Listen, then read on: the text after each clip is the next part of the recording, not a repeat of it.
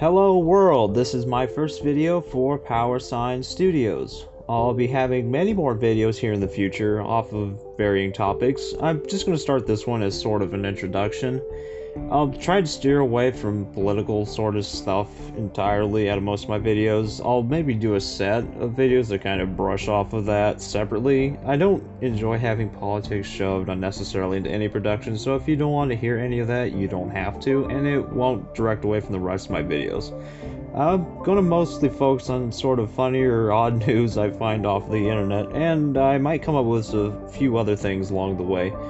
Obviously, if anyone watching has an idea that they want me to try, you can post it in the comment section, and if I like it, I'll do it. Don't forget to subscribe and hit the bell icon so you can see my videos right when they come out. I'm going to try and do two videos per week if I can, and I would like to push that up to three if I can get there.